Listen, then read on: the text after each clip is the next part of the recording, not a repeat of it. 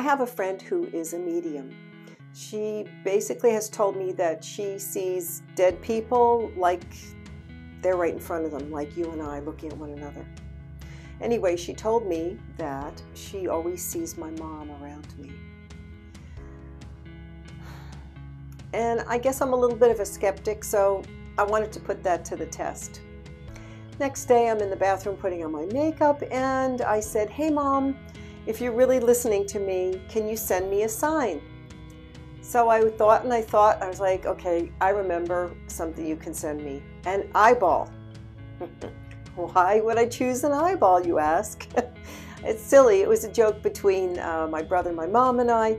Uh, when my mom uh, was younger, um, she would say, Oh, Nanny always said I have a big eye.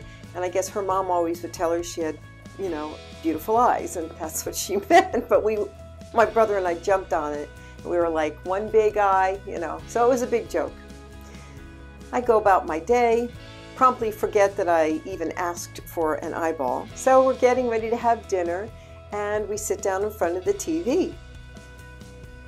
And I ask my husband, so, what do you want to watch tonight? He says, eh, let's watch NCIS. We haven't watched that in a long time. Okay, turn on NCIS. And the episode is An Eye for an Eye. And what follows are all these eyeballs. As you can see, I had to take pictures because I could hardly believe it. I was screaming. I, the eyeball. I scared the heck out of my husband. He's like, What are you talking about? What are you talking about? I was like, I asked my mom to show me an eyeball. I could just see my mom. Okay, kid, you want to see an eyeball? I'll give you eyeballs. Can I explain that rationally? Heck no. But can I feel it? Feel the truth of it? Feel that that was really my mom? Yes. Absolutely. Think about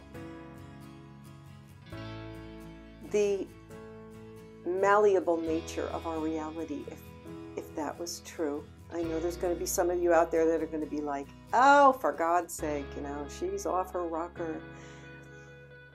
But what are the odds? What are the odds? An eyeball?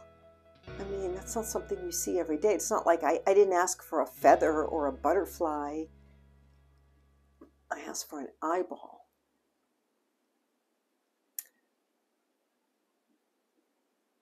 Amazing stuff. Coincidence?